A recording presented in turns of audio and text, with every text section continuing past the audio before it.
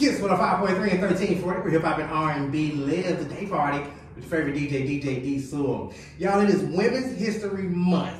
And uh, we got somebody special here. We're doing our first interview of the month. I'm, a little bit behind, but we're going to make up for it with this big interview today. We got DJ Afrosia in the building. Hey, thank you for having me. You right on time, man. Right on time. I'm a little late, so I'm to do some interviews to catch up. But like I said, we started off with a bang with you here today. Hey, So thank you for having Gotta me. help us out, man. We really appreciate you being here. So uh, let's just start from the beginning. How did you get into DJing? Man, DJing is something I wanted to do since I was in like elementary school. No just way. like like little kid, just just being too obsessed with music.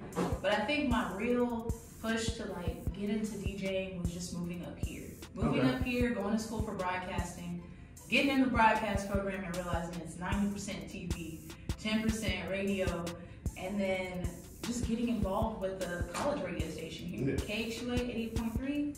Just had to give my plug real quick. That's where I was born and raised on those airwaves. Like nothing compared to the freedom of being on college radio. So I think it just kind of pushed me to really take my passion seriously. That is so crazy. Like very, very similar story. And that's how I went to U of A broadcasting, KXUA. I mean, same Dang, you thing. grew up in the same same airwaves. Okay, that is that is wild. Yeah, that is.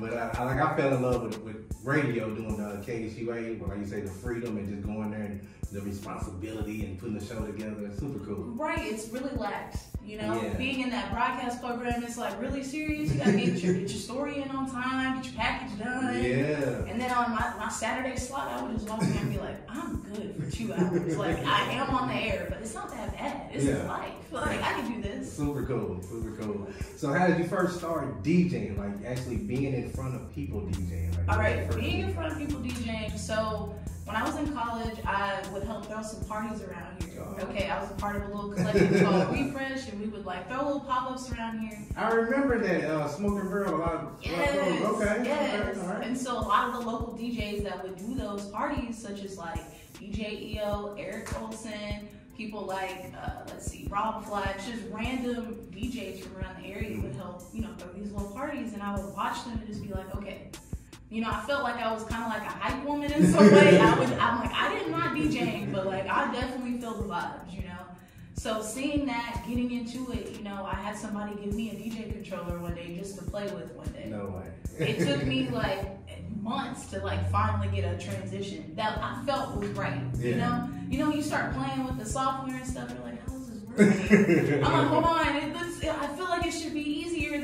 than this. It's almost overwhelming at first. It was so overwhelming, but once I put like my, my knowledge of just curating from like KXUA, just like you, once you got the music selection, you're fine. Yeah. You know what I'm saying? And then it translated, and I was like, all right, we're good, we're good. And so from there, I just I remember getting thrown a couple gigs here and there. My first gig actually was at Starlight Stadium. Really? Yeah, the stadium. Yeah, Yeah. the skating rink. That was my first gig ever. So we're kind of celebrating my uh, five or six year DJ anniversary here Super So cool, super cool. Started off just college radio. Got a couple, got a couple people saying you should do this live. I was like, all right, let's go. That is so crazy. So to anybody listening like this that want to get into DJing, how do you get started? How do you get a gig? How, how, did that happen? And even once, once you got a gig, how did you continue? How did you keep that momentum going? I think it came from just getting your foot in the door in some way musically, whether it's like stop by your local radio station, chat with somebody, you know, Yeah. express your interest in music in general. But I feel like getting the gig is just like, don't be afraid to be yourself. You don't have to go, you don't have to put yourself in the box of a traditional DJ. Yeah. There are so many DJs around here that play some of the most wild, obscure things, and I hope they know that they are gems and they should still keep doing it. Okay? Yeah. So, uh, to anybody wanting to get into the DJ space, just keep pursuing music. Become a historian of the music, okay? Like, somebody, people need selectors, as they're called. Just curators, you know? Yeah. Yeah. That's where it starts. And something cool that you're saying, just being unique and being yourself. I even look at like the, the, the hip hop world. That's something that I always give people advice on. Because people have an idea what you think rap is, but rap is so big. If you're just unique, you can find an audience. And no different than DJing. You think, oh, well, I gotta play the hits and gotta do this. No, you create your own world, and that, that crowd will come to you. That is exactly like my motto. Is like being yourself, being genuine. That is what attracts people. Yes. People like sincerity. Okay. So if you're silly, if you're weird, like let people know that because other people are silly and Just like that. So I feel you. I feel you. Like I love that. That that's that's in the hip hop world here around here. People need they need to know that more often. Yes, yes. Uh, so the, uh, let's talk about some of the lows of DJing. What's some of the low parts of it? What's some of the bad parts of DJing that you had to overcome? Okay, probably one of the hardest things is uh sometimes people will hire me simply because I am a woman DJ Mm, and I am African American. yeah. And I kind of try to tell people like, you know, yeah, that that that's definitely a part of me, but that's not true. am. You know, you. some people kind of look at you that way. Mhm. Some people think the only reason I'm getting gigs is because I'm a woman and because I'm African American. You know what I'm saying? So that's kind of the downside is just being, um, being kind of like you know a woman in the field that's mostly dominated by men. Honestly, I don't have any issues around here with that. I really don't. But I see where it's it's different. Not every male DJ is the same. You know what I'm saying? It's it's just a different vibe being a woman in it, especially if you're by yourself or feel like you're by yourself. So I just encourage women in music, like just push through it. It may be awkward at first, it may be weird not to be surrounded by someone like you or that looks Yeah. like you, but there's some nice guys out here that I think will be cool and show you the ropes and just be kind. You That's know, cool. like everybody, let's be kind. yes. You know? Let's go to the opposite end, the highs. Give me one, one of the, the highs that you think about just off the top of your head. Is uh, DJ. the experiences. Every gig is different. Yeah. You know what I mean? Um, you can do an 80s party one night. You can do 90s. You can do some random, like, I, being in this area of, like, you know, the college students, you get a lot of the random themed Yes. parties and stuff Yes. like that. I just like how every gig is different. It's like I prepare a new set that is just, like, drastically different. what you just like, did. yeah, like Yeah. every day is different. You know what I'm saying? I think a lot of the time in the nine to five life or just every day we get stuck in just doing the same thing Yes. every day. Yeah. I can say as a DJ, no, every gig is different. No matter if I do the same gig two or three times a month in the same space, every night will be different. Different people, different, Different flow, everything. people from all over, especially here. So it's really refreshing. That's super cool. Uh, well, tell us about uh, the biggest gig that you've done, the biggest one with the most amount of people, and just a, a random question. We was talking about that. Do you get nervous? You still get nervous, DJ? Yes, I still do. It's not as bad, and I think it's because I do weddings. Okay. Because with the, the stress of a wedding, man, I thought that was the biggest, most woo, intense gig ever. You know, because it's someone's big day. This is gonna be in their memory That's how I feel. for life. Wedding stressed me out. They always stress me out. That's why I take a whole day and the next day to kind of recuperate Yeah. from it. But um, my biggest gig, this is crazy. I don't think I can even think of it. I think some of my larger gigs would have to be um, doing like the women's conference, like in Bentonville Rogers area. That was pretty big. Um, probably one of the largest ones I can think of that I had no clue. They didn't even tell me, man, that it was gonna be to this scale. It was just, I thought it was just a, you know, like an opener type of fashion party at mm-hmm. Crystal Bridges. I really did. I get there and they're like, oh yeah, Tommy Hilfiger here. I'm like, oh, why? And then like, I get done DJing and I go to the main party and I just feel like I ain't never been anywhere in my life. Sitting there, they're like, oh yeah, Seth Meyers is behind you. They just gave away tickets to his show. I was like, ah! get me out of here, dog. Like, why did nobody tell me? Too much going on. It was just too much. And it was a simple night. Like, you know, I just played music kind of in the lobby areas. They go into like, you know, the main showroom. Very simple, low key at the time of my life.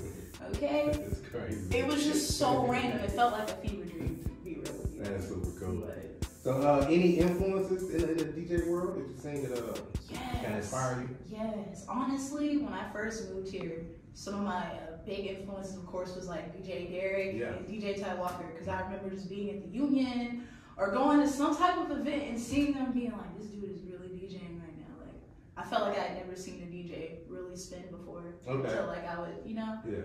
But as far as like big DJ influences, one of my largest, like, she makes Jersey club music. She's from um, the the Jersey area. She goes by UNIIQU3. Yeah. I Yeah. love. She's my girl. Like, Okay.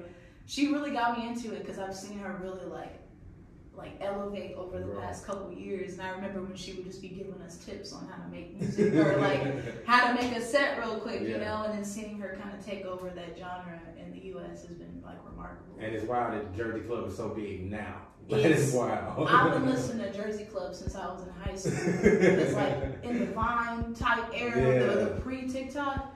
Those remixes were still as important as they are today. That's so crazy. Like, isn't it weird how we're coming back? Like. I know we're doing a little Lil Vert dances and stuff now, but like when I was a teenager, out. we were doing it too. Yeah. To do the fist pump. For our partner shaming, Yeah. fist pumping, doing the soldier boy. We had our thing. Yeah, all that. Straight up. So, uh, Afrosia, what, how are you seeing yourself in the future? What do you got planned for this year? Uh, just personal goals in, in your DJ career. Personal goals that I have in my DJ career is just it's always been travel.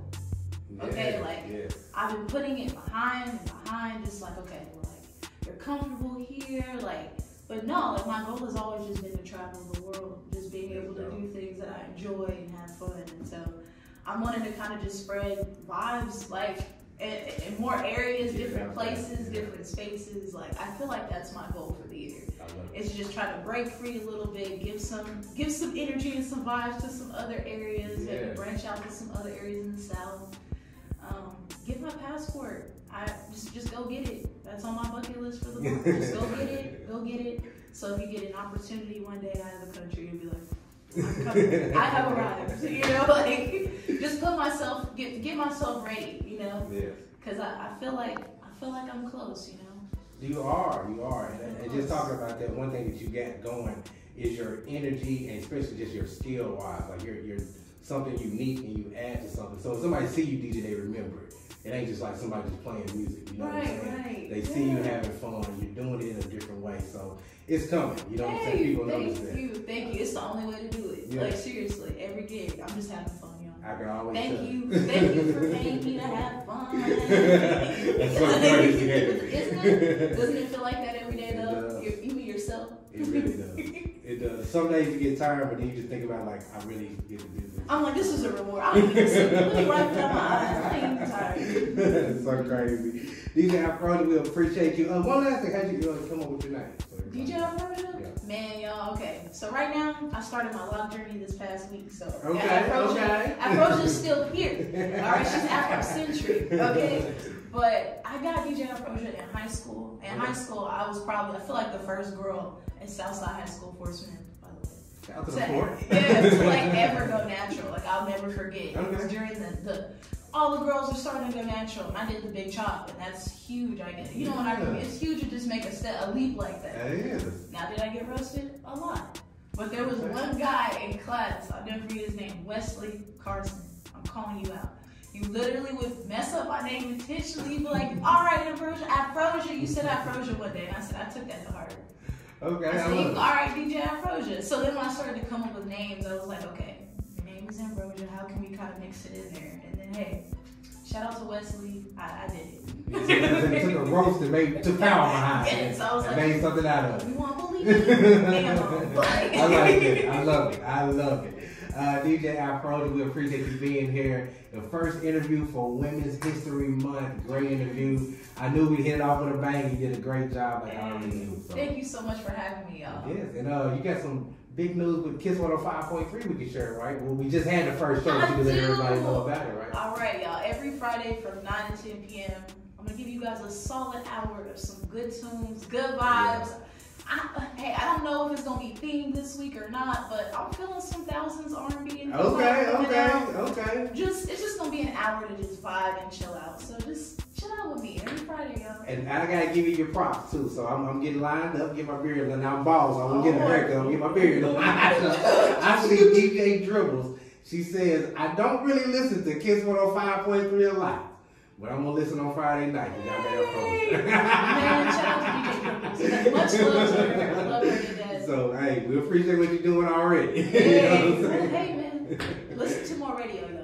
Straight up, straight up. we appreciate you, y'all. DJ Afrosia, y'all make sure to check her out anywhere you DJing at. We can tell people to catch you live. All right. Well, this week, the the Friday gig is sold out, unfortunately. But Thursday night, I will be right here on Dickson at Tin Roof. All right, 10 p.m. to 2 a.m. Come hang out with us, y'all. Big time, I can only get out on Friday, so I can't see you on Friday. I see how it is. I see how it is. Hey, I'm telling you. okay, big if I time. can promote it, I would, but it's sold out. I'm okay, big time. I see what it is. Y'all, DJ Afrosia, y'all make sure to check her out. Y'all, this is Kiss 105.3, 1340.